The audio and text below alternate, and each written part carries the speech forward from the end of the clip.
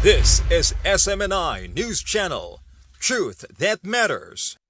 Sir, this year you're you already turned turned 75. Yeah, that's diamond years of existence.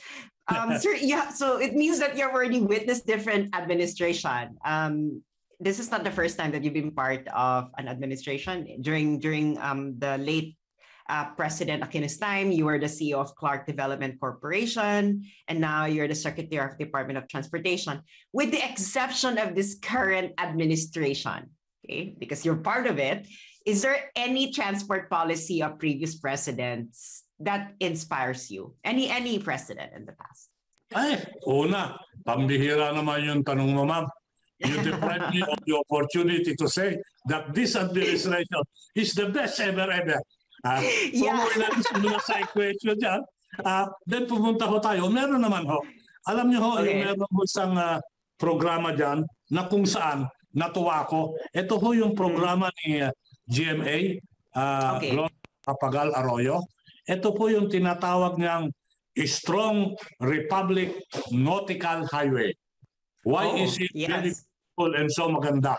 Kasi ho, ang Philippines archipelago. And President Arroyo was able to design a plan na kung saan yung katubigan parang ginawa niyang kalsada, may mga Mm. highway, may mga dadaanan. In other words, he translated the mobility and convenience of travel sa karagatan by creating what she called then a strong republic nautical highway.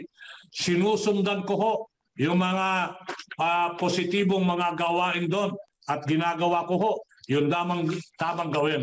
Kaya kung meron ho isang bagay na aking dapat sabihin, happy ako at ginagaya ko po, ito po yung programa ni GMA, President Gloria Macapagal Gagal Arroyo, and the program is the Strong Republic Nautical Highway.